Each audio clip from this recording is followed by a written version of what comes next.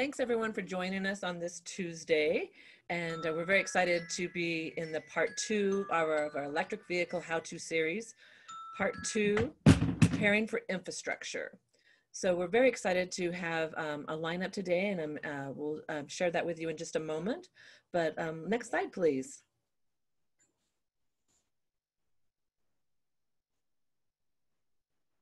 Wonderful. I'm Tammie Bostick, and I'm your moderator today. I'm the Executive Director for Utah Clean Cities, and very um, honored to be part of the Clean Cities webinar series with the folks that are putting this together with you today. Thank you, Brian Trice, for bringing us all together. Next slide, please. All right, here's our agenda for today. Um, basically, we're doing the interjections and there's a Clean Cities overview. We want to let you know that there are fantastic resources for electrifying your fleet and um, adding workplace charging and in general, just getting electrified. The speakers today are myself, uh, Tammie Bostick, and I'm going to share with you our workplace um, charging uh, workplace electric study. And then we have Joanna Bell, who highlights the, and the considerations for public accessibility for charging networks. And then we have John Mikulin, who explains the Regional Electric Infrastructure Initiative developments. And then uh, we'll follow up with a question and answer. Next slide, please. So general housekeeping, please chat with others in the chat box. You can select individual people or you can do a group chat also um, ask questions um, as we go along with the, the box. I mean, sometimes there's some really pertinent pieces that you have a question at that point. We're happy to address them. And Maddie, um, who has been so wonderful with, she's with uh, Columbia Willamette, she'll let me know if we need to address a question at that time. But in general, we'll do it at the end. Um, so be, feel free to log your questions. And then um, we also will be recording this and it'll be available to all attendees. Next slide, please. So again, today's speakers, myself, uh, Tammie Boss with Utah Clean Cities, Joanna Bell, who is um, with San Francisco Clean Cities, and John Mikulin, who is with the U.S. Environmental Protection Agency. Welcome, Joanna and John. Next slide, please. Clean Cities overview. Next slide, please. I wanted to share with you a little bit, and any of you who are part of this uh, any of you who have been part of this uh, series have probably heard this before. I'm going to try to make it a little bit more electric centric, but the Clean Cities Coalition is a model of, uh, created by the Department of Energy, uh, and we are there are 95 of us across the nation, and it's very exciting. Um, you can see the blue states that have them. Uh, California has upwards of 13, and some states do not, and we share. So, exact, for example, Wyoming helps out Montana, and Utah helps out Nevada. So anyway, we have a great uh, network of folks that are there to help you, not only in your state, but regionally. Next slide, please.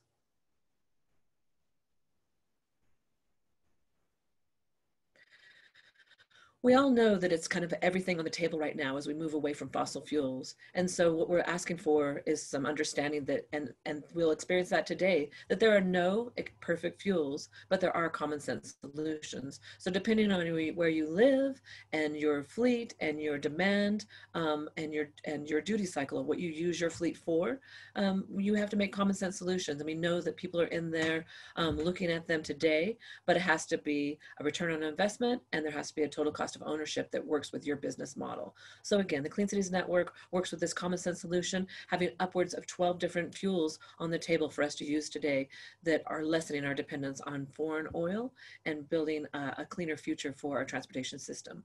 Next slide, please.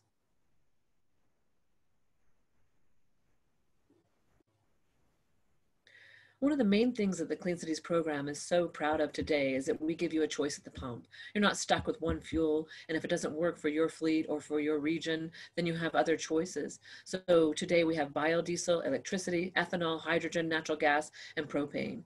And all of these are available in renewable form. So one of our biggest platforms right now is that you can use renewable fuels, and this is lessening our dependence on fossil fuels. So we're very excited about that. Another big piece that we're solving for today, especially with electric, is the alternative fuels corridor, which um, currently many of our alternative fuel corridors have this full variety of fuels that you see here. They have natural gas, they have liquefied um, propane or auto gas, they have uh, liquid natural gas, hydrogen, and electric. And so that's what we're talking about today, building out that infrastructure for electric to make sure that our corridors will allow you to drive your electric vehicles across our nation. Next slide, please. Wonderful. Another thing that I'll be talking about today, a little bit more in my slides, are the federal and state incentives that are available to you to help you convert your fleet to electrified transportation pieces.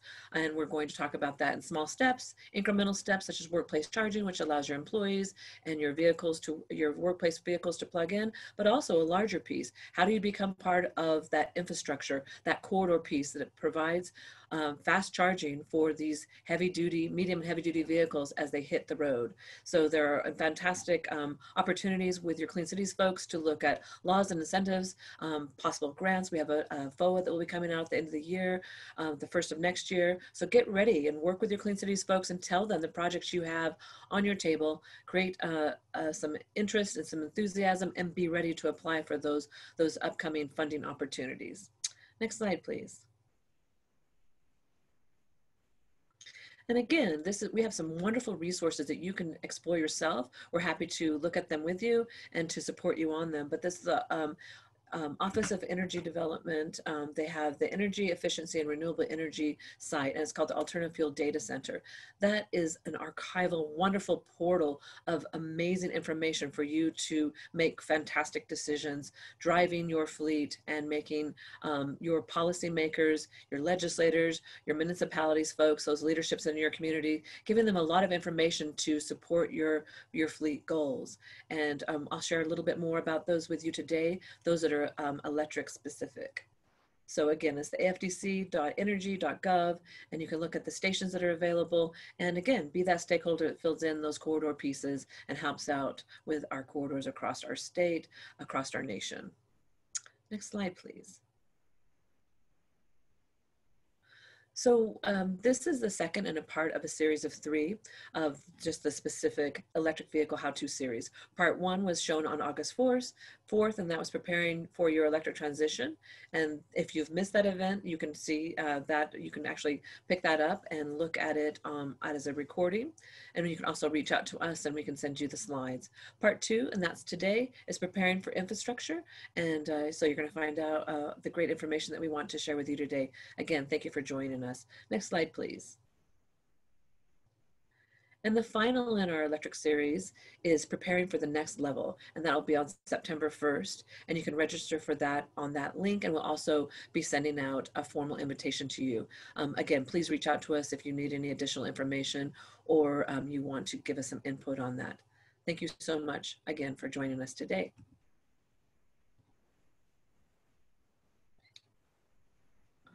And again, as our speakers come online, please put your questions into the chat box and we'll be happy to um, uh, tabulate those and discuss those at the end. So Joanna, myself, and John will be online as well as Brian Trice, and we'll be here to uh, help fill those questions and answer them as best we can. Thank you. Next slide, please. Um, I get the joy today of being the moderator and also a speaker, so that's fantastic. Welcome, Tammie Bostick, and I'm coming to you from my cabin up in the High Uintas. So um, I don't have the cool background that my uh, fellow speakers do, but uh, you can see my cabin. So it's not as hot here as it is across the west of the western states, but um, it's hot. So uh, we're all enjoying a, a, a very uh, hot summer, and I hope all of you are staying cool. So next slide, let's get into this. All right, so today I'm going to be talking with you about a work electric program. And I want to pull up my um, specific PowerPoint for myself just so I can look at my notes and make sure that I hit all of the points here. So let me get this pulled up.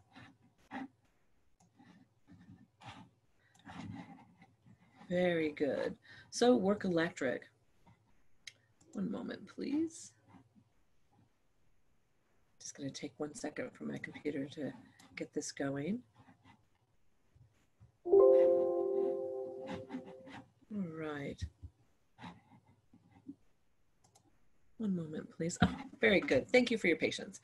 So what is Work Electric? So Work Electric was a program that we started uh, a couple years ago with a grant that we had through the Department of Energy and our large utility, Rocky Mountain Power. And we were looking at bringing infrastructure to the curb, so to speak, to the parking lot to make sure that as we built out this electric system that we know we need to, to have charging. And so that's a big piece of it. Before we can drive electric, we know we have to create range confidence. So this is a range conf confidence piece. The Work Electric program is a recognition and sustainability program to empower stakeholders like yourself to become sustainability leaders by adopting electric vehicles into your fleets along with workplace charging units for your employees. The Work Electric program provides the most advanced transportation plan supported by modern analytic tools, like I just presented to you with the AFDC and all of those wonderful tools and problem solving tools that we have available for you to assure that you meet your short-term goals and plan for the future. To have such an impact in our community is possible, and this program was designed for both private businesses and the public public sector. And those folks we know we have you have influence over our transportation habits and choices. So again the transportation fleets that we are focusing on are schools and nonprofits data centers high-tech businesses. Um, we find that that's a really big piece. You know a lot of those folks are working on computers they want to drive a car that's very much like a computer like a tesla. Uh, retail and hospitality multifamily housing units municipalities and governments and counties and uh, government agencies so next slide, please. Um, I feel like I have to kind of give a nod to Elon Musk. Um, he's an interesting character, but I think that he's been very brilliant in the Tesla because Americans, we love our cars and we want them to be fast. We want them to be good looking. There was just something about the early Leafs that didn't really appeal to most Americans, but the Tesla sure did. And he rocked the EV world for us. And so it's exciting to have that kind of, of amazing leadership that, that put the Tesla on the road. And it's American made, so we can be proud of that. So in order to have clean air in your cities, you have to go electric. And a little bit further on in my slides, I'll show you why it's so important for Utah and my coalition to go electric because we have some serious air quality issues. Looking at this model, um, this is something that you can kind of put into your brain. It's ACEs. And ACEs stands for autonomous, connected, electric, and shared. And that's the transportation system of the future. And um, when we look at this piece here, we can see that there's a lot of moving parts. There are autonomous vehicles, there's electric vehicles, people are sharing, they're riding on shuttles, they're riding on buses, but also they're living in a very clean city so they can walk. And that's a big piece for us. We want to have uh, smart mobility in our cities. One of the biggest pieces that we looked at when we looked at this uh, workplace charging program is that we were able to work with grants that were led, leveraged by our federal um, government through the Department of Energy and our local utilities. And then also, for example, in my state, we had legislative money that allowed for us to pull for a transportation energy plan. And what we realized is that we couldn't pull infrastructure to the curb or to the parking lot without some infusion from our federal government and from state agencies. So we look at this as infrastructure banking. So anytime we see someone put a charging um, port into their uh, parking lot, they're building our infrastructure for electric charging. And then this is the smart mobility piece, the modern city. Uh, the modern city, uh, it refers to a model of transportation along or even instead of owning a gas powered vehicle. This can take on many different forms, including ride sharing, car sharing, public transportation, walking, biking, and many other options that we haven't thought about. I like to think about the hoverboards that people are ripping around on. So just in brief, I wanna go over this program. This is a program that we're piloting with an amazing leader who has shown uh, that he really has a vision for the future of electrified transportation. But it focuses on three um, platforms, leadership, to energize your workplace, to energize your fleet, and then to recognize your work as a sustainability leader we like to focus on the benefits because we know no one really wants to do something unless there's a benefit from there. There are tremendous benefits from this, and hopefully from this presentation, you'll see what the benefits are. How do you build a work electric plan? How do you bring your influencers and work team together under a leadership platform? And so we want to look at this and uh, see that that is that piece. So next slide, please.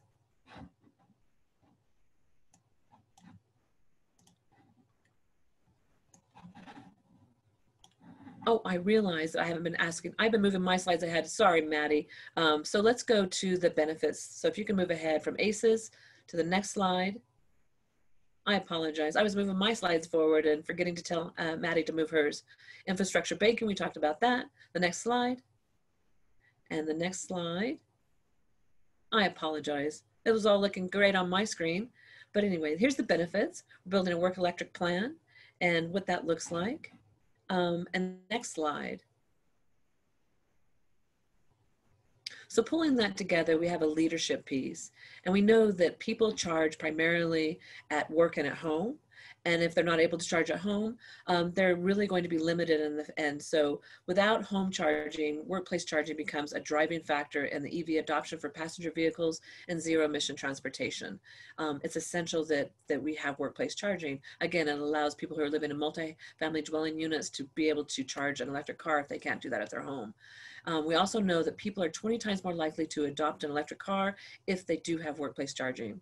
So um, next slide, please. So um, I had mentioned the reason why um, air quality and zero emissions at the tailpipe is a huge issue for Utah. This is um, up Little Cottonwood Canyon. You've come here to ski. It's beautiful, it's fantastic. But next slide, please. We also have a uh, topography that, uh, that um, you can see the high ochre mountains around us. We end up in this soup. I literally took my dropper, popped it in the middle of that, and that's the green color you see around the green air day, which is we call suffocating. And we get some really terrible inversions. In fact, we become one of the dirtiest cities in the nation um, during the winter time. So it's a tough problem for us to solve, but it's also a driving factor in why we want to become more and more increasingly zero at the tailpipes. So um, for Utah, over 45% of the transportation um, emissions create um, the pollution in our air. So we, we definitely look at transportation. Next slide, please.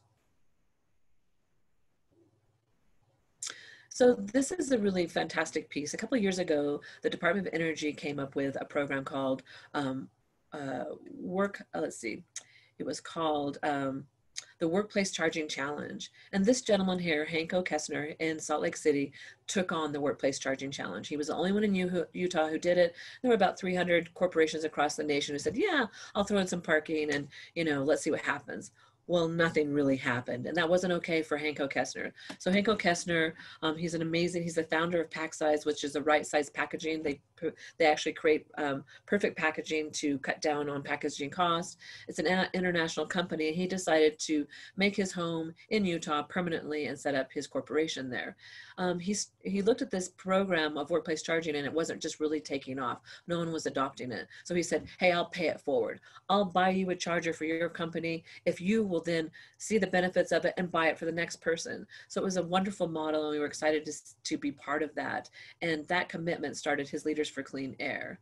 The movement wasn't active enough for this charismatic and visionary leader, like I said.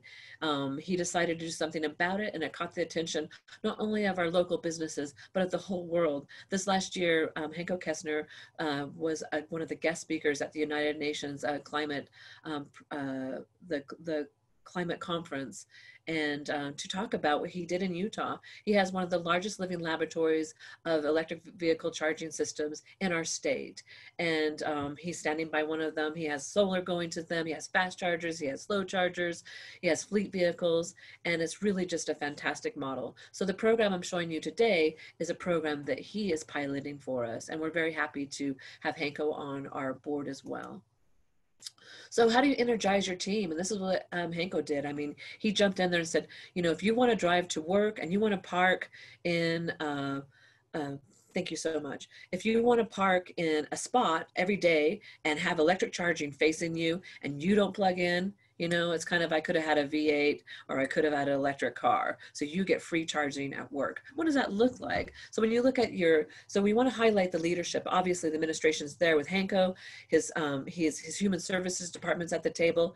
His building and facilities folks are there saying, how do we make this work? His employees are all in and many of them are driving electric cars. And of course, if you don't think that he hasn't branded his company and gained a lot of success around really taking that leadership role, I mean, just look at what the man's done with it. It's really pretty incredible. So when you enter, next slide, slide, please. So you want to energize your culture. You want to bring attention to your parking lot because you've invested in it. So how do you engage, create culture, green your image, and then future proof? I mean, so that's the piece where we always say plan to expand. Lay your conduit. If you put one charging station in, great. In two years, you may put five more in, but plan to expand. Once you have that open, run your conduit, keep it going. Um, you want to make sure that you, again, plan to expand. The benefits. So we like to look at people like, well, this is not fair because people are getting charging and they're getting free, blah, blah, blah. It's like, well, okay, join in. But if not, basic level one is 60 cents a day. Level two is a dollar fifty a day. It's like a cup of coffee in the in the room. You can also, if your employees kind of push back and say, hey, it's like a, a, a phone, it's like a gym pass, it's like a bus pass, you know, so those things are all easy to work through and we're happy to help you uh, with that language. Next slide, please. So again, this program is designed to recognize, and the reason why we want to recognize it is because you're really going to have real data and metrics to share, again, highlighting your leadership. Next slide, please. People who say it cannot be done should get out of the way of those who are doing it. And I think that's kind of like what Hanko Kiessner just said is like, we're going to do it. We're all in. I mean, now's the time. So next slide, please. So one of the things that we're doing right now is we're creating a dashboard to, to gather metrics and we're using the Alternative Fuels Data Center. And we wanna be able to say, wow, you have X amount of cars, you have X amount of fleet vehicles, you're saving this amount of emissions. Next slide, please. So this is how we're trying to recognize folks who have taken this initiative to join in. So we can compare their ICE vehicles that they gave up for their electric vehicles. We can show their average fuel cost and then the amount of CO2 that they're, their savings. This is a great piece, not only for your sustainability folks and for your your employees to join in with. But as you add fleet vehicles, this is a great piece to share with your stakeholders and your board members and your investors. This is a great um, opportunity to say, this is what we're doing. And you can send it out to the community, become, you know, a workplace charging, uh, you know, challenge uh, a champion. And that's what we're working on today. So next slide, please. So why would you work electric? Next slide.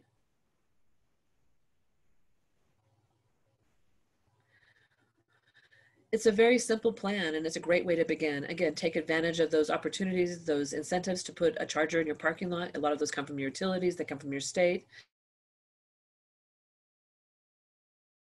Vehicles to it. We know that the modeling, especially from the Department of Energy coming down, is that we want to electrify that 150 mile range, that 200 mile range with delivery vans, all the electric vehicles we can possibly put in there, want zero emissions at our tailpipe in our urban areas.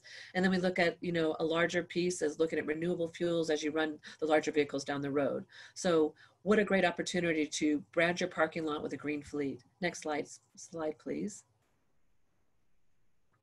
The reason why we're doing it, US transportation by fuel type. So you can look at this and you can see who's using the fuel in the United States. This is the pie.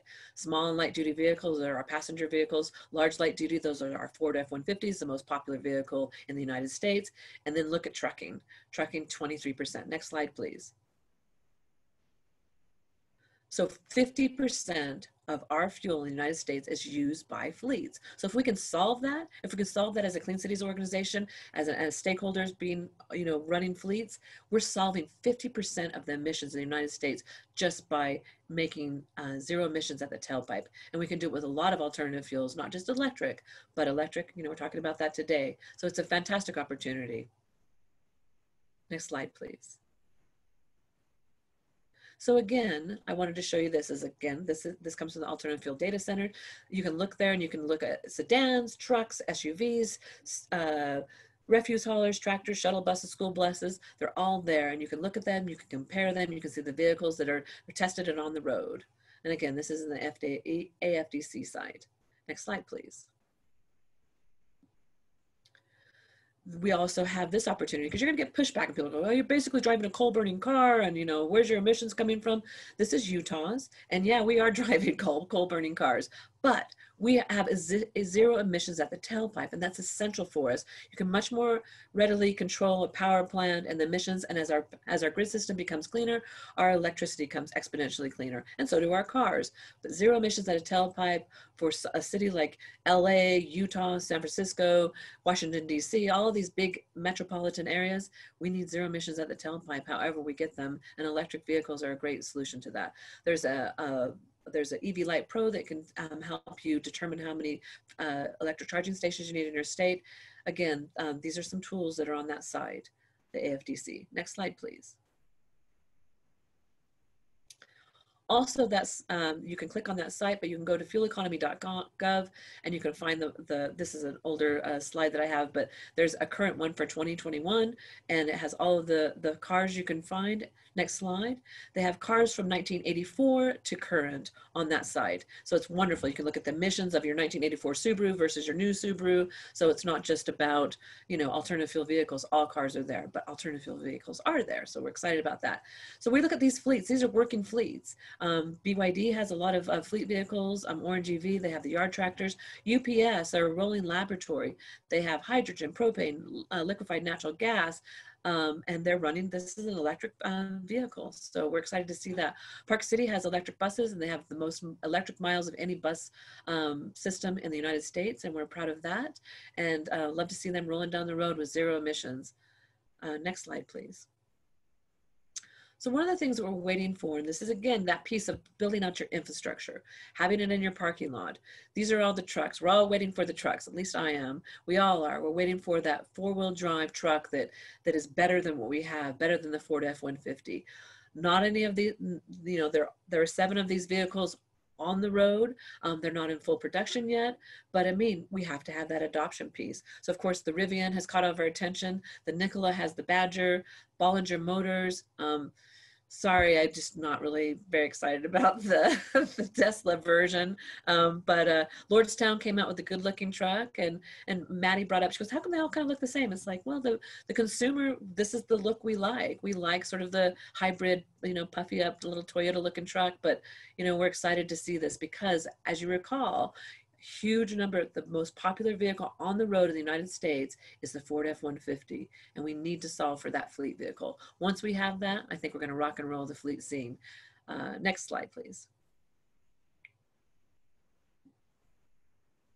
And we're waiting for these. Cummins has their um, Arrow on, and then Nikola's coming on, and then we have the Tesla semis. We're looking at the full fleet of electrified vehicles. And again, we're trying to look at what that looks like on one of the corridors. How do we charge these vehicles? And I think we're all really aware of how stressed our grid system is of just trying to keep California cool with these rolling blackouts and electrification pieces. So this is something we're trying to solve for. There's no doubt about it, but we're looking at that. We have to have, um, you know, electric charging, start charging, and then we have to have storage and a grid system that can support it. So again, that's something the Clean Cities program is looking to solve for. And we need our stakeholders stakeholders to work with us. Next slide, please. So how do you do this? You look at the and again this is this is where your clean cities program comes in. We have a new foa that will have 50 million dollars on it and um, that'll be next year. Reach out to us let us know what your fleet objectives are. Let's pilot something. Do something that's not there. Talk to us. We know what what the you know the the doe program's looking for and we're happy to um, help uh, you know brainstorm with you and your fleet and your your local government whatever it may be um, and and show that leadership piece. Show something that that helps us visualize uh, and realize an electrified fleet transportation piece for the future. Next slide, please.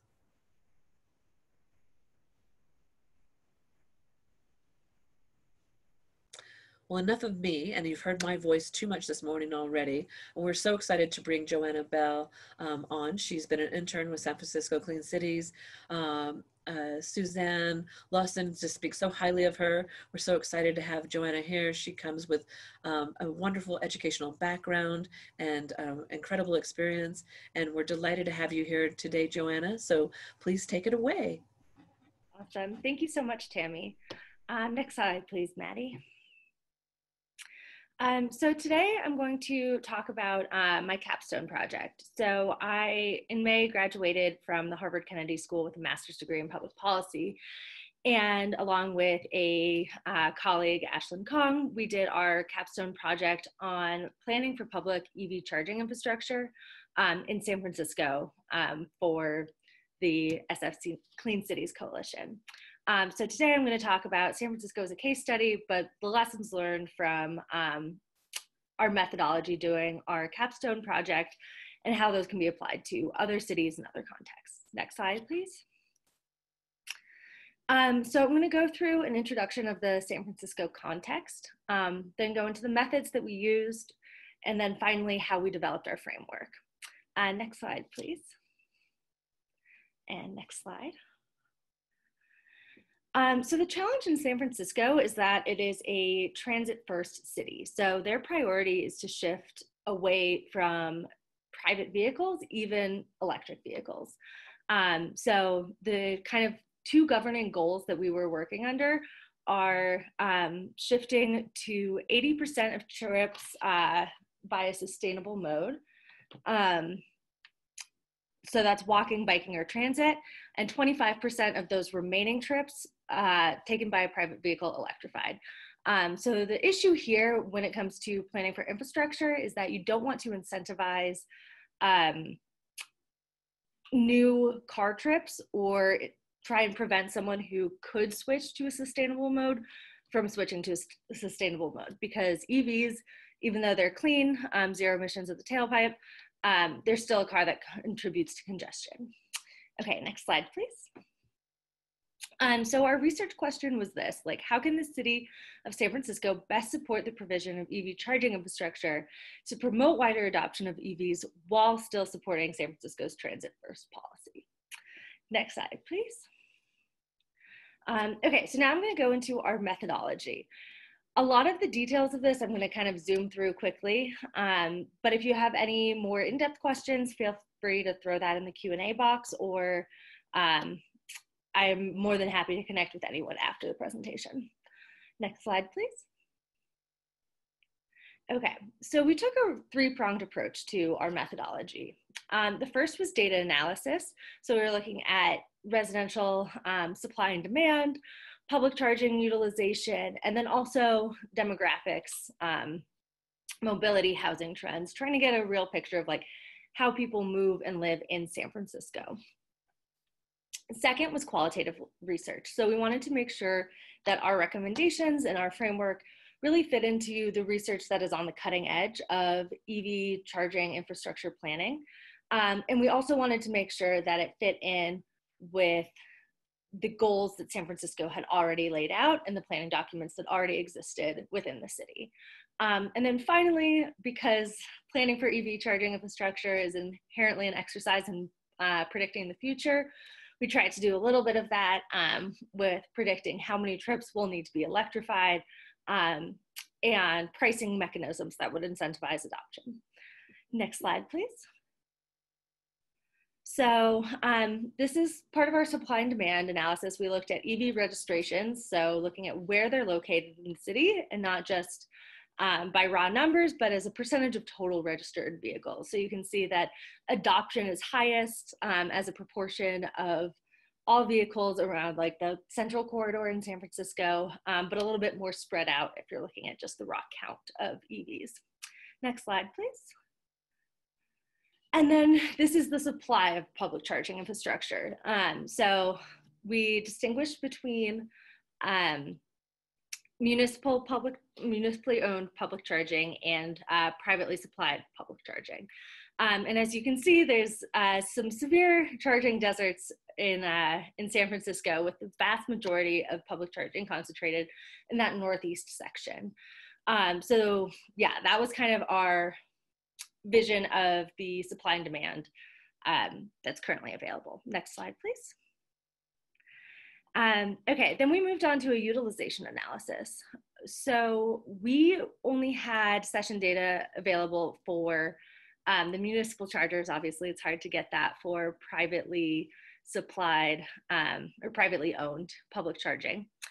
Um, and we were really asking three questions. So we were looking at utilization. So how often are chargers in use? Um, users, so who is using municipal chargers? And usage patterns. So how do drivers use municipal chargers? So that's looking at, are they plugging in in the morning?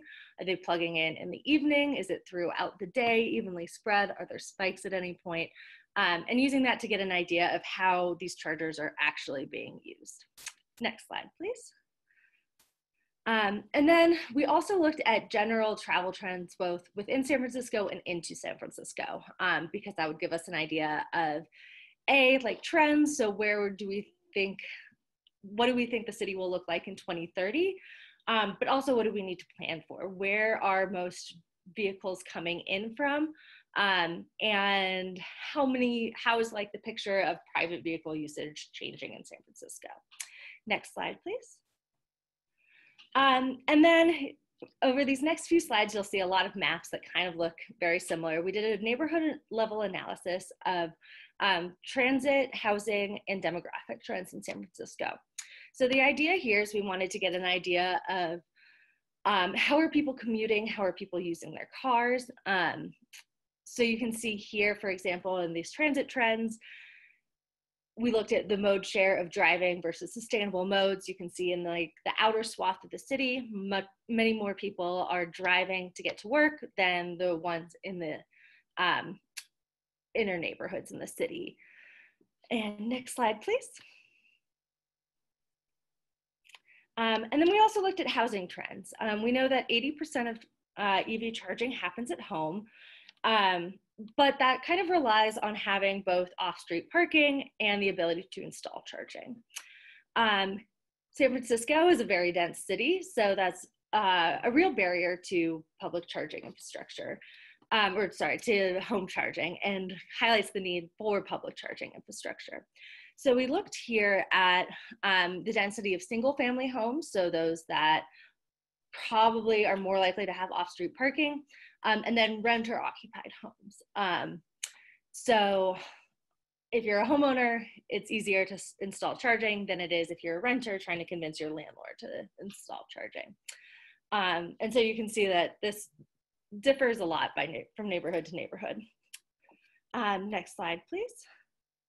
And then finally, um, we looked at demographics. Um, one of the challenges of EV deployment, as we all know, is that currently um, the upfront costs are still higher than ICE vehicles, um, and there's not a super robust second-hand market. Um, but equity is a really important value for the city of San Francisco and for Ashlyn and I as we were doing our project. So we wanted to look at demographics across neighborhoods just to see if we're recommending, say, that um, charging be installed in Noe Valley, who's that actually serving? Um, so here we have uh, race and income data, but we also looked at educational attainment. Um, yeah, like kind of every demographic uh, that you could think of, just so that we had an idea of who we would be serving with our recommendations. Next slide, please. Um, then moving on to the qualitative research, um, we use key studies from EV leaders uh, and key planning documents in San Francisco. So the ICCT was really, um, really, really helpful in kind of understanding what the cutting edge uh, research is telling us on EV infrastructure deployment. Um, and then we also used key planning documents within the city of San Francisco. So um, they released a EV roadmap last year. Um, obviously, it's very important that our recommendations and our analysis fit in with the roadmap. Um, but there are also broader planning documents about the city's um, uh, like sustainability goals.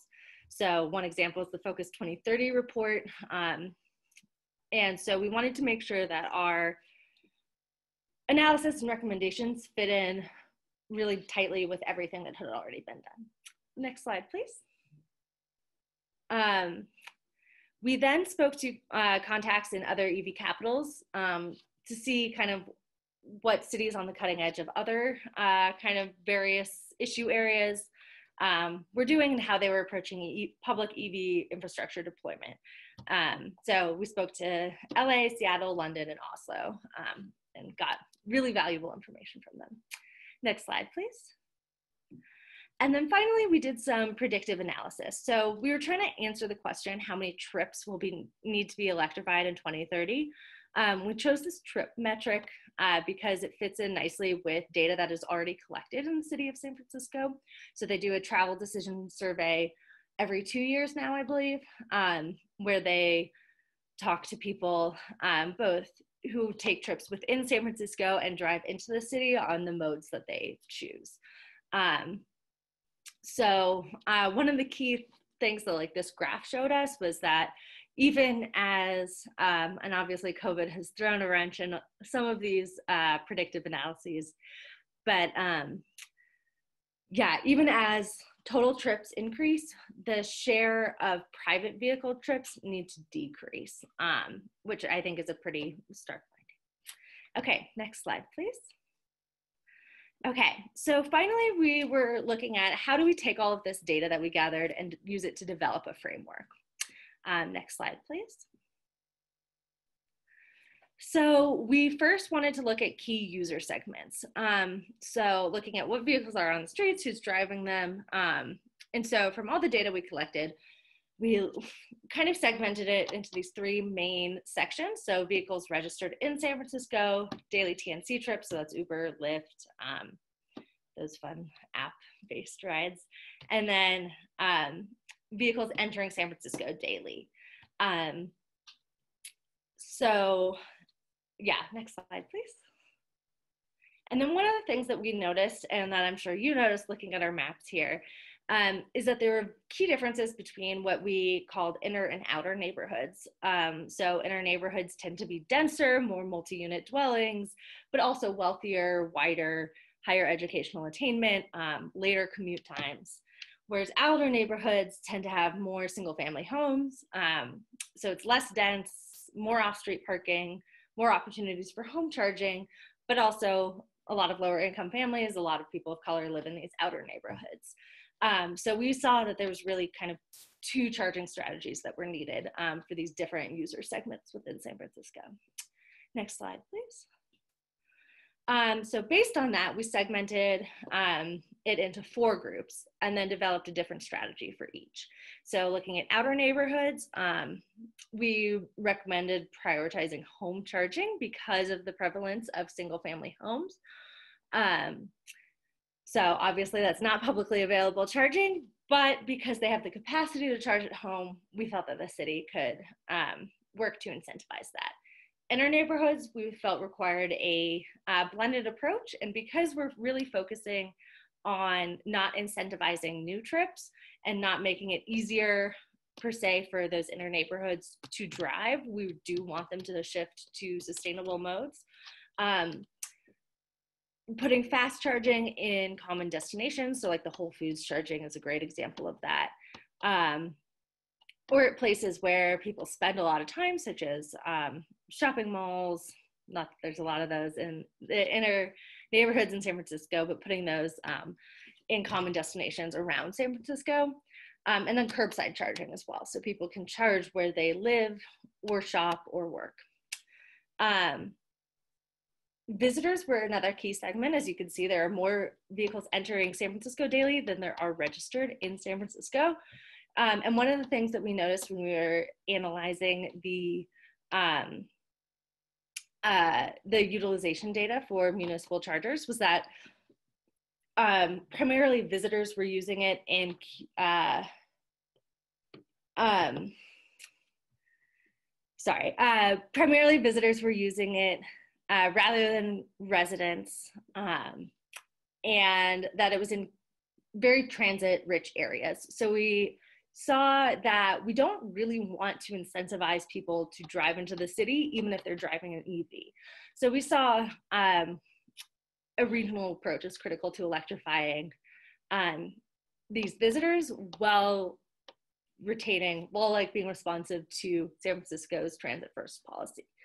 Um, and then finally, um, we saw fleets as the a really important piece of uh, San Francisco's electrification strategy. So um, obviously there's tensions between city governments and TNCs and not wanting to kind of um, provide charging or pub- use public money for private companies. Um, but electrifying a fleet vehicle um, has much more potential to uh, reduce greenhouse gas emissions compared to electrifying a non-TNC vehicle. Um, so based on that, we also looked at um, drop-offs and pickups across San Francisco, and there are like key hotspots across the city. So we recommended installing charging and specifically fast charging um, in those areas, perhaps working with the TNCs to develop a cost sharing mechanism. Next slide, please. Okay, and then finally, um, we wanted to look at quantifying the charging gap.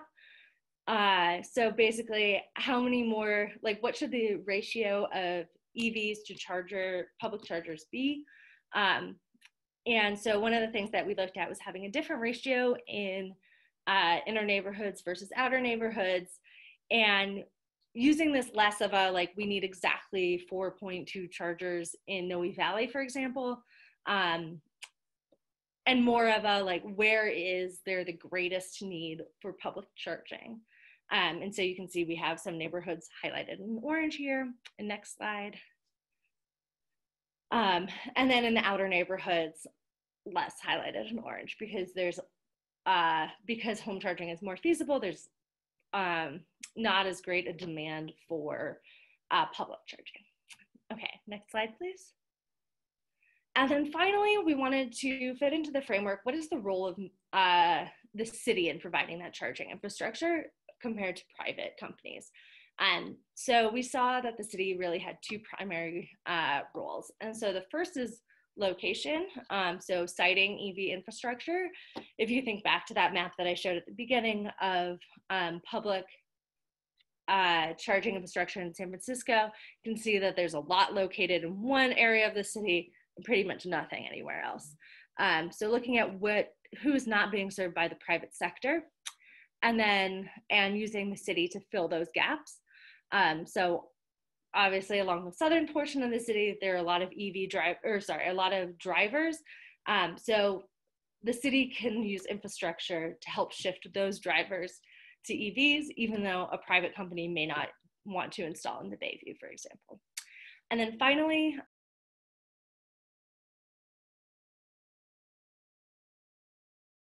um, pricing. Oops, sorry. um, yeah, pricing is the other um, key point of uh, the city. So basically, do you want to use pricing to incentivize adoption, recoup expenses? Um, how attractive do you want to make EV refueling compared to an ICE vehicle. Um, yeah, so that is everything. Um, thank you so much. And if you have any questions, feel free to put it in the chat box or contact me directly. Thank you.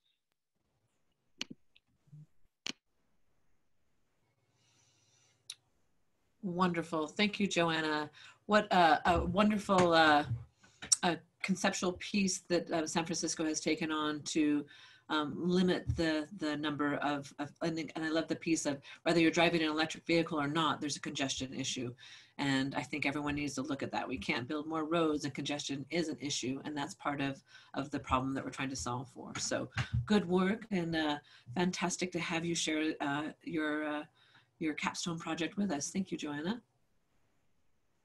So um, John, we have you up next. And so I don't ruin your last name, please introduce yourself. Uh, Brian Trice sent me a, a, note of how to pronounce your name properly. And I'm not sure if I'm doing that right. So John, if you would let us all know how you say your last name. And, um, and then we're very happy to uh, have you with us today and sharing uh, your um, information. Um, so again, thank you, John, for joining us and uh, take it away. Well, thank you, Tammie. No problem on the last name. It's not a common one. It's been butchered more ways than I can remember. But thanks again to Brian Trice and Suzanne Lucen for inviting me to join you all for the Clean Cities webinar today. I hope what I have to share for you is helpful.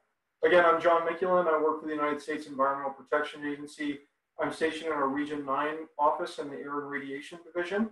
I'm a specialist in technology and partnerships where I focus um, exclusively on mobile source emission reduction strategies and technologies.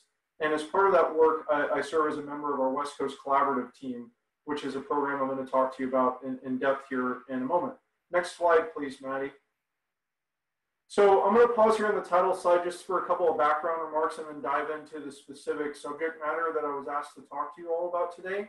Um, for those of you who aren't aware, our West Coast Collaborative program has been in place since 2004 it is a public-private partnership focused on reducing diesel emissions from heavy-duty mobile sources and reducing, obviously, human exposure to diesel exhaust. Since 2004, EPA and our partners in Alaska, Washington, Oregon, Idaho, California, Nevada, Arizona, and the Pacific Islands and all the tribal lands they're in have done a lot of work to mitigate emissions from heavy duty mobile sources, everything from exhaust retrofits to engine repowers to full vehicle replacements, including alternative fuel vehicle replacements in many cases. And certainly seeing growing interest in, in powertrains involving alternative fuels um, that would otherwise be combusting diesel. So that's kind of the, the broader framework that this project that I'm going to talk to you about exists under. And our West Coast Collaborative Partnership is a robust engagement of state and local agencies, the federal government, tribal agencies, the private sector, academia, and NGOs. And, and we really do have a, a long history of, of, collaborating together to um, develop technology, deploy it into the field, and actually get it in the hands of fleets who, who can use it for, for cleaner and more sustainable operations. So with a little bit of the background, this project that I'm going to talk to you about today is about our Alternative Fuel Infrastructure Corridor Coalition, or AFICC for short. That's the acronym we use internally. Um, and it's really focused on medium and heavy duty alternative fuel infrastructure development along the West Coast. So with that background, Manny, please next slide. So in 2015, Congress passed fix, the Fixing, Service, uh, Fixing America Surface Transportation Act of 2015. And under Section 1413 of that statute, it directs the Secretary of Transportation to annually designate alternative fuel corridors for electric, hydrogen fuel cell, propane, and natural gas fueling technologies for both passenger and commercial vehicles. Um, since this statute was ratified by Congress and, and signed by the President in 20, 2015, uh, EPA, Federal Highway Administrations, and, and DOE, along with our state and local partners, have done a number of collaborative efforts to reflect implementation of this directive from Congress.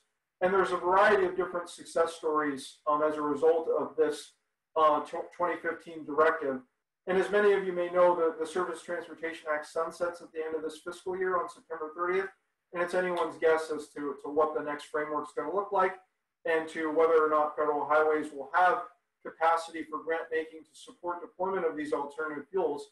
But that being said, there's certainly been a lot of work done to plan out corridors for these fuel types for passenger and commercial vehicles, and certainly a lot of really um, constructive collaboration with a variety of different parties from all sectors to try to figure out where this infrastructure currently exists, where there are gaps in accessibility to this infrastructure, and how we can activate markets um, through the placement of infrastructure to, that will allow fleets to make that transition if and when they feel it's appropriate for their operations.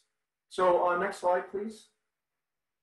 So you can see here an example of some of the work that's been done on the West Coast to date for light duty uh, EV charging. And uh, a lot of credit is due to our state transportation agencies in Washington, Oregon, and California for collaborating since the uh, Recovery Act in 2009 to really enable travel of light duty plug-in electric vehicles along the West Coast using the I-5 corridor as the primary spine, but also including Highway 101 um, and 99 through the Central Valley as well.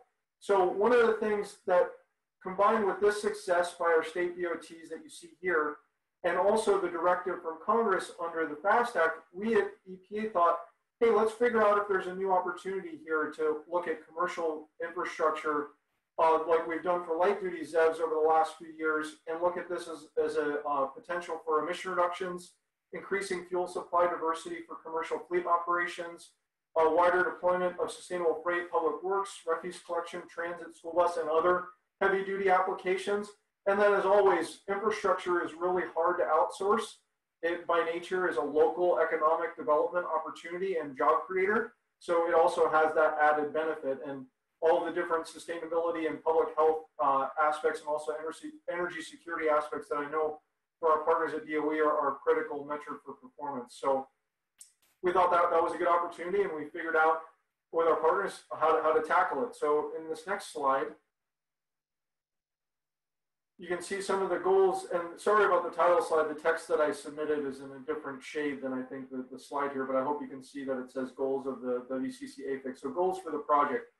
Um, first and foremost, we wanted to start by convening stakeholders around this issue and see if there was a, uh, a value added component for EPA to, to facilitate effort in the space at every turn that that uh, hypothesis was affirmed by our partners. So we continue to conduct stakeholder work groups and targeted outreach to identify desired and unfunded medium and heavy duty alternative fuel stations. Um, we work to synthesize that input into a plan document.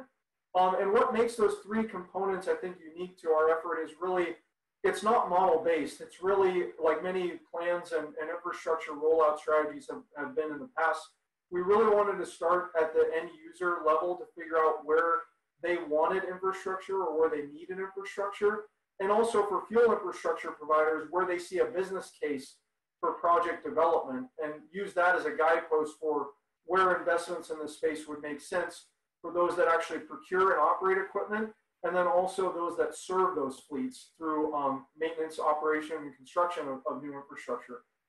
And from that, also providing a platform for sharing medium and heavy duty fuel infrastructure investment needs. And you'll see in some of the resources I'll highlight later on how we were able to do that for, with some phase one analysis in partnership with CalSTART. Um, and then using our plan documents as a basis for coordinated application for relevant funding assistance programs, which there are many through USDOT that state and local transportation agencies can access. Um, and then obtaining that, that assistance over time to implement some of the desired stations that were highlighted in our first order analysis in California, Oregon, and Washington for the fuels types that I highlighted a moment ago that were included in the, in the statute um, under the FAST Act. So next slide. So here you see our process roadmap that's kind of led us to where we are at the end of our, our first phase of this project. So we started in late 2016 to start to vet this and kind of do some market research, like I said, in terms of EPA's value added um, effort in this space or whether we would be replicating effort or whether our help was not wanted. And pretty much at every level in the public sector and also in, in, in private sector development areas, it was highlighted that it would be useful for EPA to explore opportunities in the space along the West Coast and try to convene stakeholders to find where those opportunities would make sense for development in the near term and where there are needs in terms of investment to deploy some of those technologies. And in doing that, also wanting to uh, kind of true, true up the, uh, the data that we received on new stations and new investment opportunities with some project development criteria that help to gauge whether or not projects are actually ready to absorb new funding assistance and be implemented. And you can see in our plan documents when you have a chance to dig a little bit deeper some of the criteria that we use in terms of estimated throughput, proximity to other stations of a similar fuel type, um, access and, and proximity to major transportation corridors, the types of fleets that they would be servicing, the number of anchor fleets that would be involved in certain stations. So those are kind of some of the metrics that we use to really evaluate how ready some of the project proposals that we obtain would be. And then from doing, from doing all that data acquisition and analysis, we developed a strategic plan with our partners at CalSTART. And they really did this as kind of an advisory analysis for the West Coast Collaborative to, to help address some of the goals that I highlighted earlier.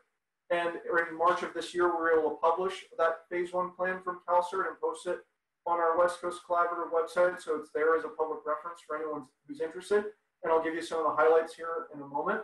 But that's kind of how we got here. It's been a multi-year process, kind of working with a coalition of the willing to figure out where these investments are needed, um, where they would help fleet operations, um, where they would complement existing initiatives around fleet sustainability, emissions reductions, uh, fuel supply diversity, alternative fuel deployment, et cetera, all the things that clean cities tend to focus on. So uh, next slide. So here you see some of the highlights from our uh, phase one analysis with CalSTART. So we were able to identify 141 proposed stations across the, the western seaboard of the, the continental United States. Um, there were also some outliers in our initial data sample that were technologies that we weren't quite aiming for. Some folks who submitted data around things like catenary electric uh, technology for heavy duty tractors.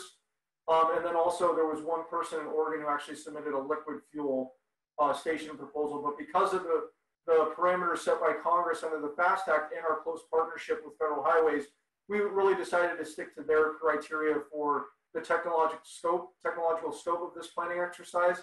And that's why we winnowed it down from the, the, the raw sample of 147 to 141, which is really uh, plug-in electric vehicle technology, hydrogen fueling technology, propane, compressed natural gas, and liquefied natural gas.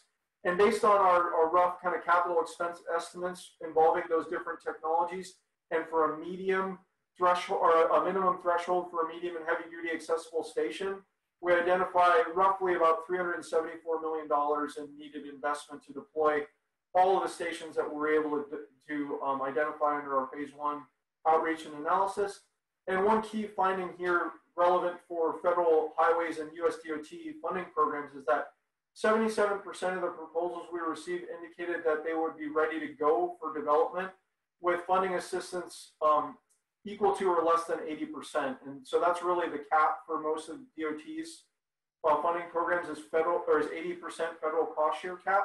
So that's relevant in the sense that 77% of all the different state stations we were able to identify for medium and heavy duty alt fuel operations, they would be feasible with um, kind of the standard issue block grant structure from USDOT or from a subsequent um, allocation from a state DOT or a, a metropolitan planning organization.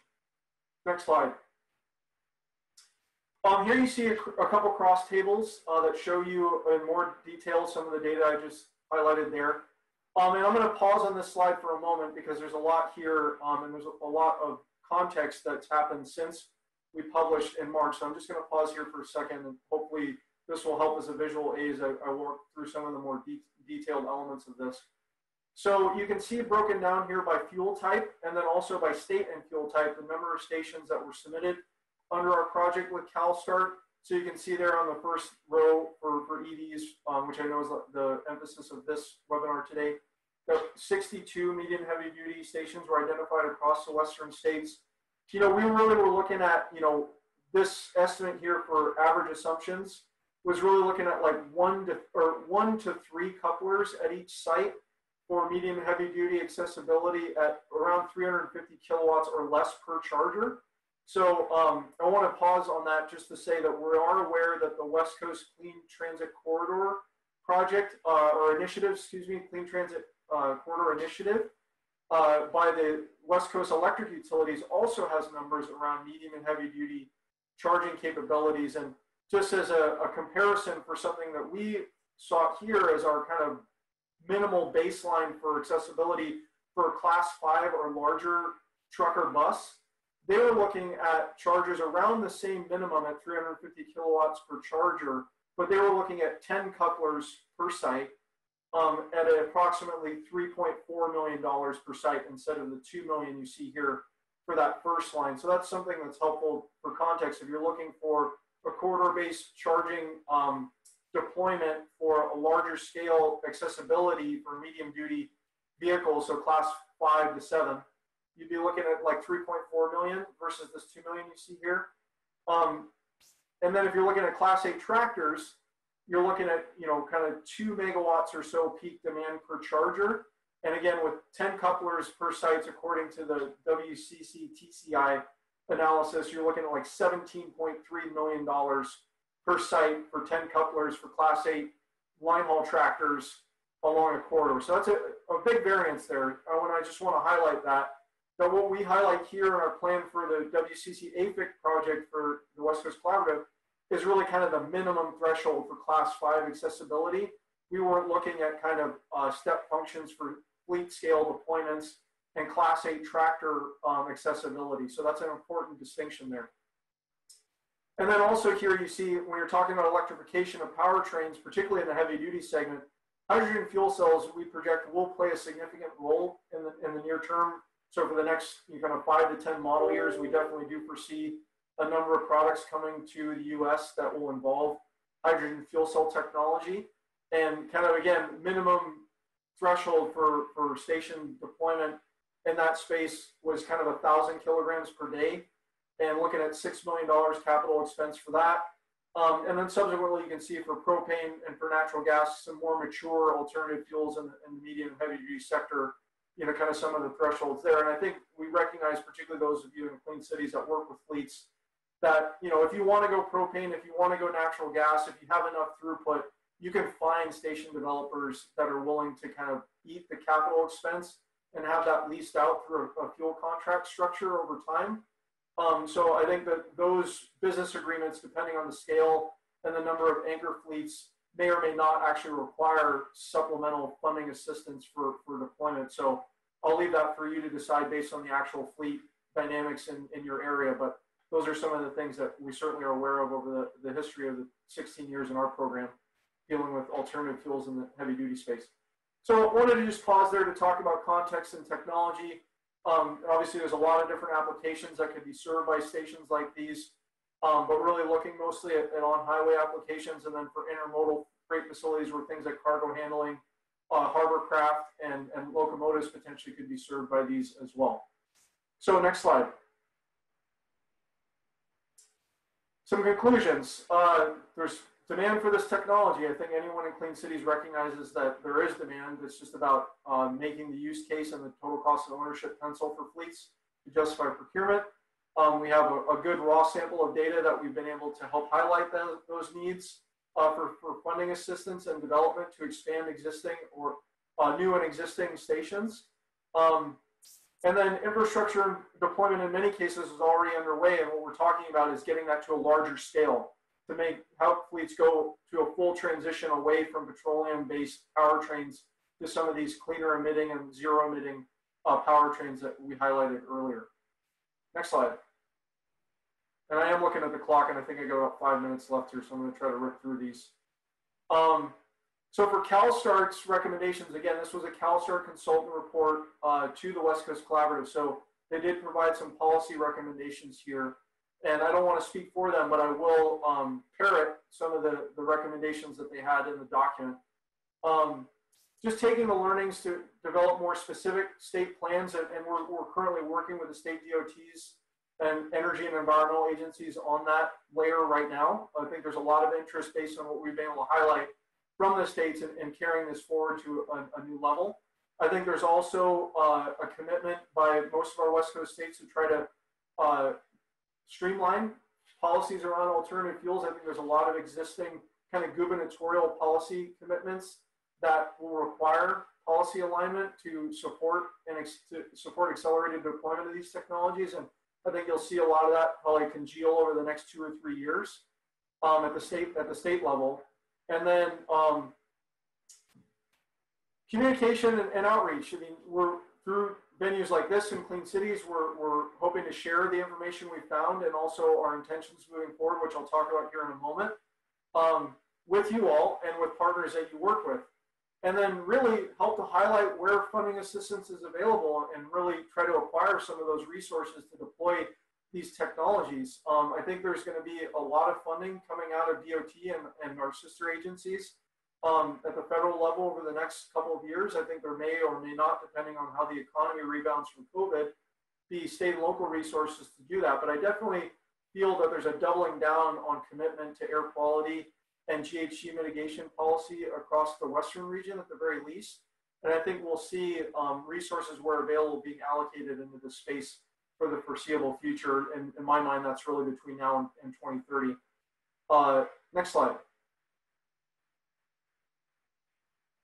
Uh, implementation, I mean, that's really the emphasis for us at EPA is, you know, there's a lot of great policy documents, there's a lot of great analysis, but really what matters to communities, know, what matters to human health is getting technology out into the ground and, and on the road that cleans the air. And that, that's really what we're all about. I mean, and all the steps I just talked to you about are a means to that end and trying to figure out how we can get the resources in the hands of fleets in the hands of local agencies who can help to work with fleets and actually deploy these technologies is really the next critical step. And like I said, we're working with our state and local agency partners to see that that happens. I think there's a recognition, and I think many of you from the Clean Cities communities would, would recognize alternative fuel workforce development as, a, as another key need here. And I think there's an opportunity through grant making and administrative expenses to kind of build some of that capacity within fleets who are deploying these technologies. I know for us at EPA, we often do like when our partners include resources for uh, staff uh, skill building and expertise acquisition to help our programs be implemented more effectively and more efficiently. And certainly I would encourage you guys to think as you're looking for DOE and other resources on how to bake that into your, your technology focused uh, projects. And then also trying to figure out how to address environmental justice in a meaningful way while looking for synergies between community health needs and social equity with synergy for demand for that technology. And I think there's going to be a lot of kind of uh, logical uh, partnerships in that respect, particularly around uh, goods movement hubs, major fleet depots. You know, a lot of the communities that surround those facilities are chronically impacted by air pollution. So there's an obvious need to deploy technology into those areas for purposes of fleet operation, but also to protect your neighbors from uh, the negative externalities of those operations.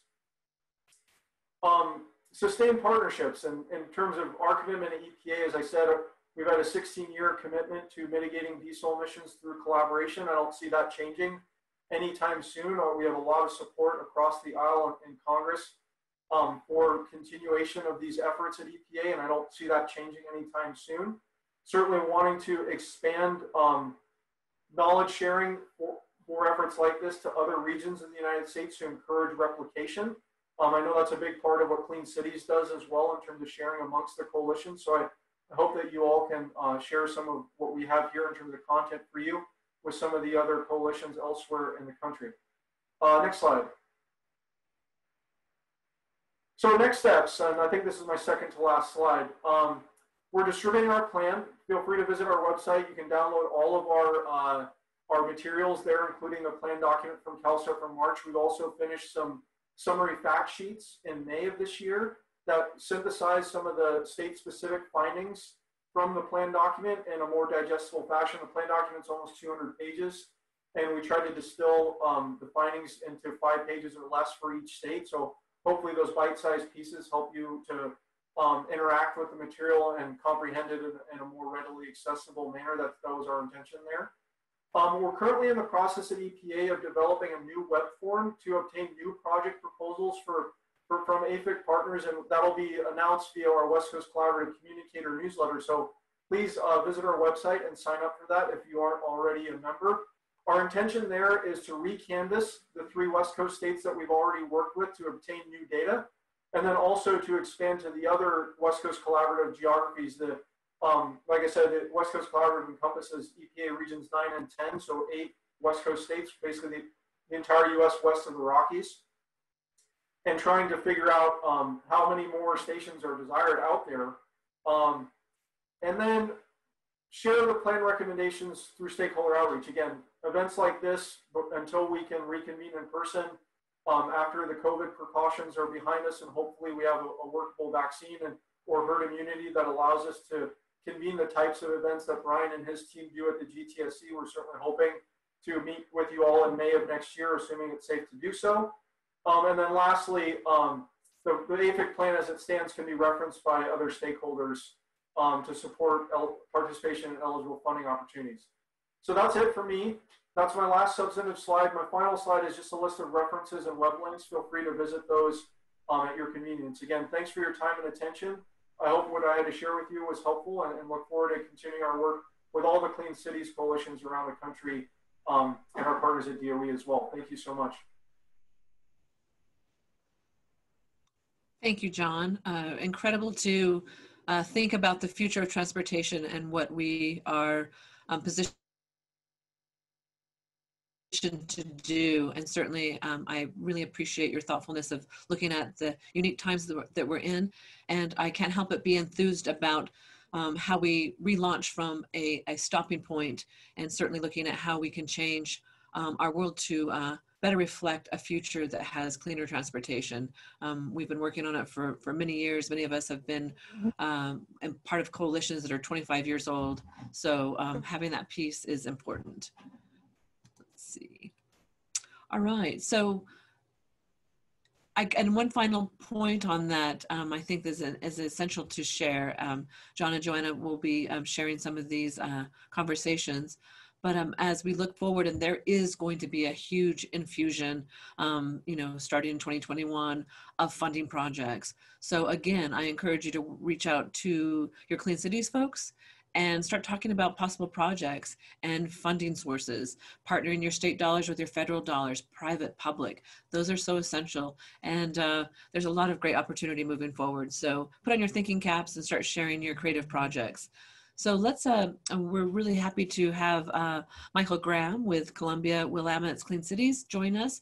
He will be fielding some questions for us that have been generated during this webinar piece. And so, um, Michael, why don't you start us off with your first question? Awesome. Thanks, Tammie. Thanks all of the speakers and presenters for uh, great, great content. That was terrific.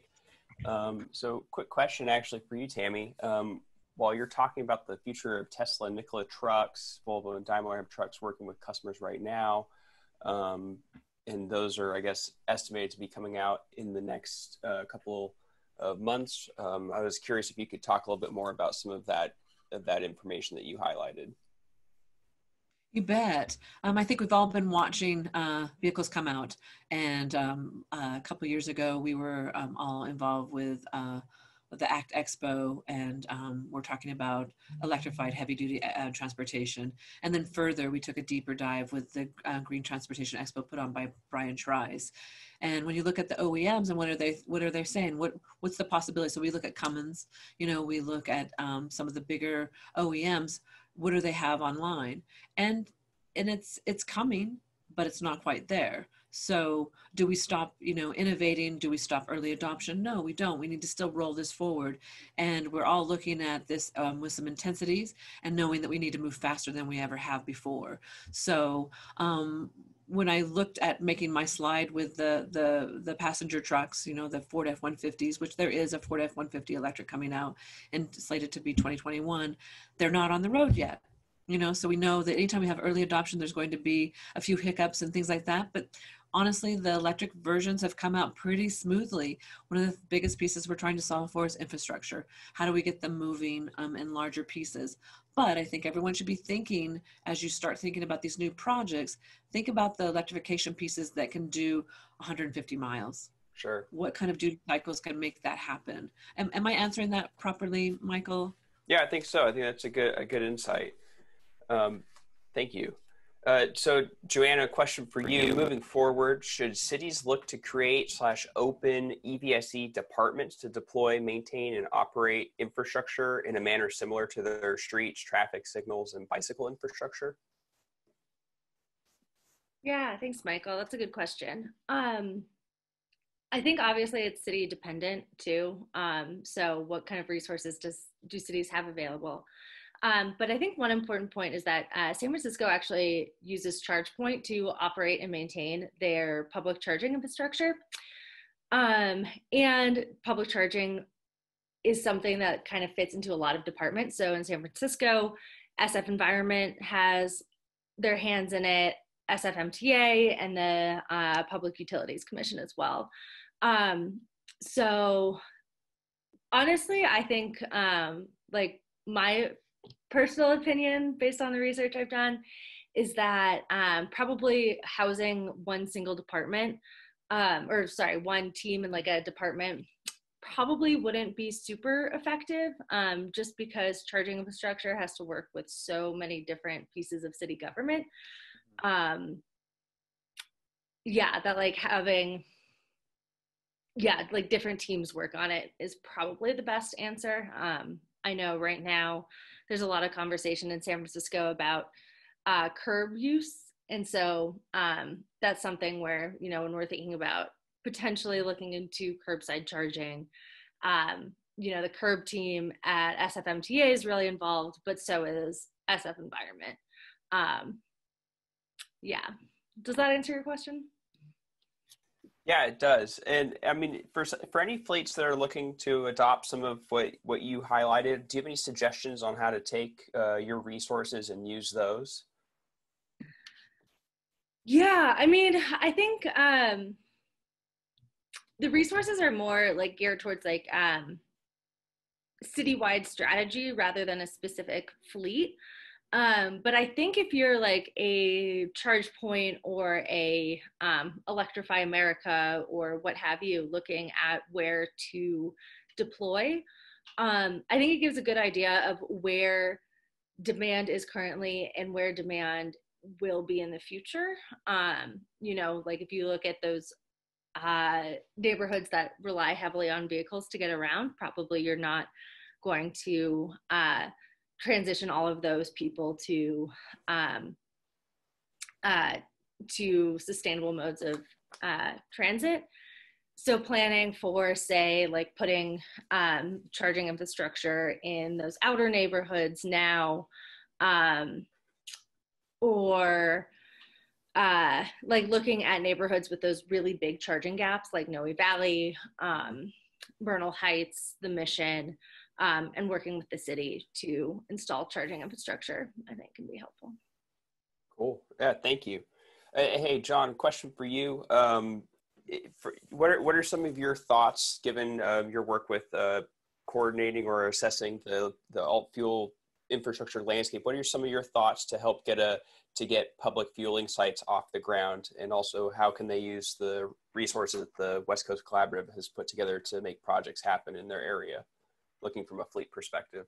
Yeah, I mean, in terms of partnership with the public sector to deploy these technologies, I feel like the best avenue for a fleet is to find a, a good champion within their local metropolitan planning organization, because these are the group, these are the agencies that really determine how transportation funding is implemented in the regions of the United States. There's a lot of delegation that happens from the federal, state to the regional level for transportation planning and resource allocation. And if you, as a local fleet, don't know who your MPO is or who works there in your technology space, you're really fighting this battle with one hand behind your back because you may be able to get some funding for vehicles out of EPA, you may be able to get money in fits and starts from DOE, but the real money is at DOT. I mean, they their budget for purposes of capital infrastructure deployment uh, dwarfs anything that DOE and EPA will have combined on an annual basis. So that's a really good kind of first place to start. And then also, you know, whoever on behalf of your city or your county engages at the MPO kind of governing board level, make him or him or he or she aware of what you're trying to do and make it a local priority to get it done. Um, without that kind of ownership and collaboration, it's just really hard from a fleet budgeting perspective to make a whole scale transition from what you've been doing with diesel or gasoline for the last X number of years, a full switch to whether it be battery electric, plug-in hybrid, hydrogen fuel cell, propane, nat gas, what have you. If it's a totally different fueling technology, it takes an entire ecosystem to make that really work within your fleet operations. And then you need that kind of threshold condition of having infrastructure accessibility, whether it be behind the fence or something that's uh, kind of limited access by a number of, of commercial fleets in your area. Okay, very cool. Uh, another question for you, John. Um, what, what's the status of coalitions putting together funding for stations? How would a fuel provider get involved moving these forward? Yeah, so EPA's role in this process is really advisory. We don't have the authority to fund infrastructure for EPA. We do have the ability to fund vehicle repower and replacement. Um, and in some cases, uh, fleet expansion and deployment in certain parts of the country under certain funding programs. Um, but we don't have the ability to do this. Really, our purpose is in initiating this project was to address what we see as a chronic constraint to the efficacy of our fleet oriented incentives. Infrastructure is a major constraint to scale. We can fund you four to five million dollars to do vehicle changeouts, but if you don't have commensurate infrastructure to make a transition beyond that, you're kind of stuck at that position and you're not able to make that change beyond. And so that's really our role is to acquire data and put it in the hands of people who can act upon it. And, and like I said, in the public sphere, the entities that can act upon this type of information are state departments of transportation and the regional metropolitan planning organizations, and obviously in collaboration with the state energy and environmental agencies as well. So on the West Coast, you know, you're in Washington, that's Washington State DOT, that's Puget Sound Regional Council at the regional level in, in the Seattle area.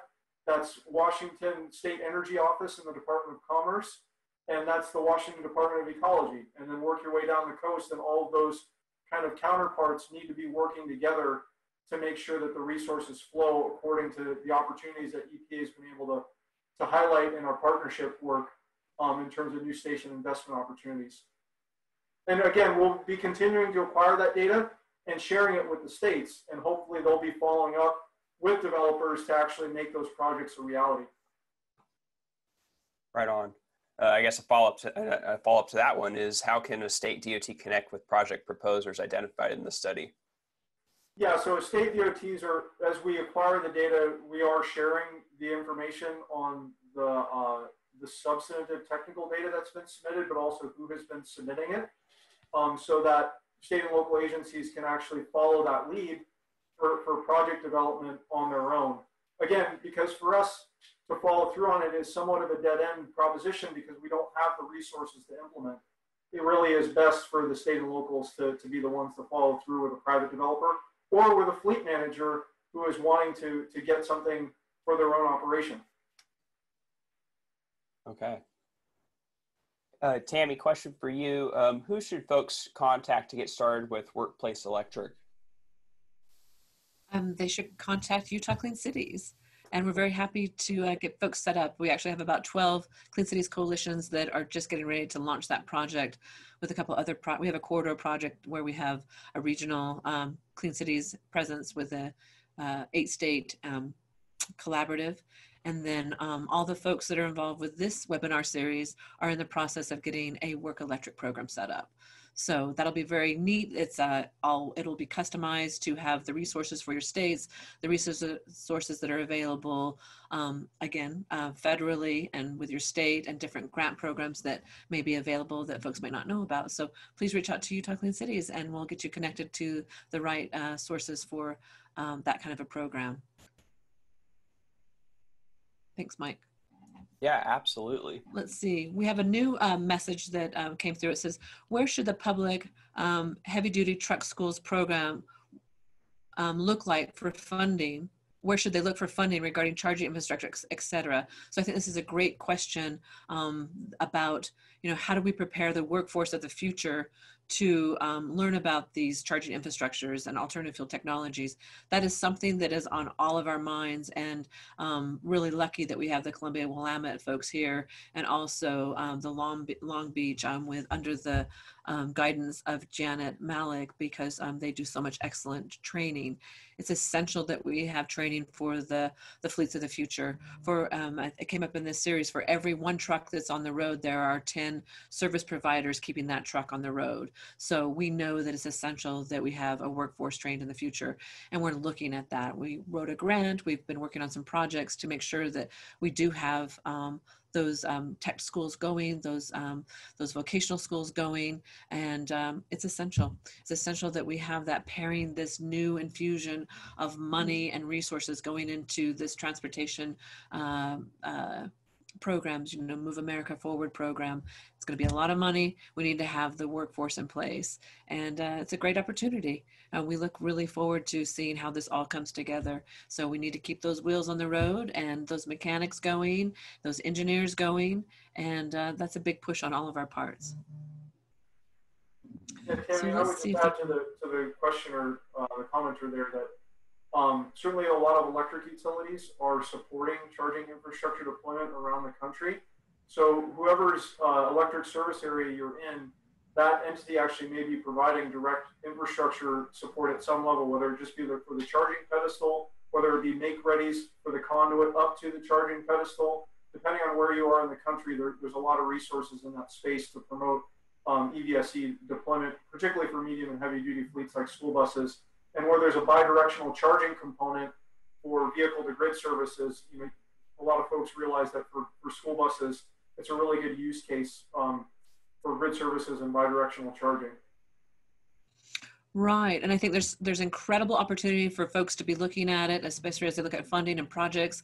Um, what's our resiliency piece? How do you have a diversified fuel piece? How do you use your school buses that you're going to invest in that are quite expensive? Um, how do you incentivize those so the incremental cost is covered? But also, how do you look at them as a generator? You can take the you know those buses have big generators. What do you do with the afterlife of those batteries? Can they be stationary uh, battery storage? Uh, the bus I showed you with Park City, they're taking they're leasing those batteries and they're buying those batteries back from Proterra and they're using them as um, a generator. So there's some really creative pieces we can move forward. But again, I think that that uh, first piece of how do we tie this together with a whole new workforce? This is a fantastic opportunity for us to do that. We have a question that um, I'm going to um, pivot off of that. We have a question for Joanna because I think this is really interesting. How does your um, MA in public policy inform the roadmap for electrification? Tammie. Um, I think kind of in two key ways. Um, so first is the role of data in planning. Um, like I'm sure you saw that we did a massive amount of data gathering and planning and got a lot of key insights that uh, really wouldn't have been available without being able to kind of dig into that data. Um, you know, ranging from that um, you know visitors are the primary users of municipal charging infrastructure like that was a really interesting finding um, and is really helpful for planning going forward um, and the second is looking at the role of government in uh, planning for EVSE. Like I think the question about the uh, creating a department for planning within the city government is really interesting. Um, yeah, because you know there are some things that cities do really well and some things that do not so well. Um, so looking for how the city can kind of advance equity goals, um, especially for something like a new technology where the early adopters are going to be you know people who are wealthier able to take more risks with technology um, and kind of looking at how the city can uh, facilitate yeah that equitable deployment i think is um, really key um, yeah and that's something that obviously we talked a lot about in my public policy degree awesome and i think what's so exciting now is um, that these transportation plans are coming out and they're so different than what they used to be. You know, we built a lot of roads before. So how do we build less roads and have better transportation and better flow? And those are fantastic. I mean, looking at um, the, the lights and, and how things converge and, and different time of use days. I mean, these are exciting pieces. And again, um, the Clean Cities program is very focused on fleets and it goes from light duty to heavy duty. So how do we solve for it with those pieces and what does that look like to have zero emission um, electrified transportation on a larger level? And how can we be smarter? You know, how can we be smart about how we move goods and services? So it's exciting to see the work and uh, and what you'll be doing in the future, Joanna. You're in a, a fantastic position and we're very excited to uh, see where your career leads you. Um, so we're going to swing back and, and uh, Maddie, if you wouldn't mind um, bringing up uh, the slide for next week. Um, let's just remind everyone before we start uh, having people peel off. So again, this is a part two of a three-part series. Um, this is our how-to series. So how do you electrify?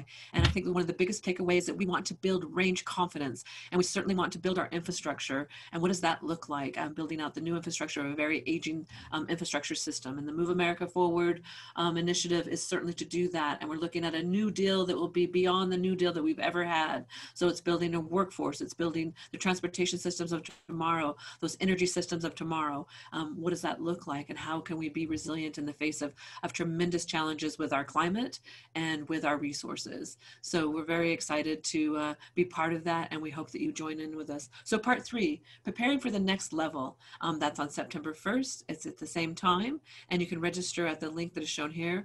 And again, look for sendouts from your Clean Cities folks.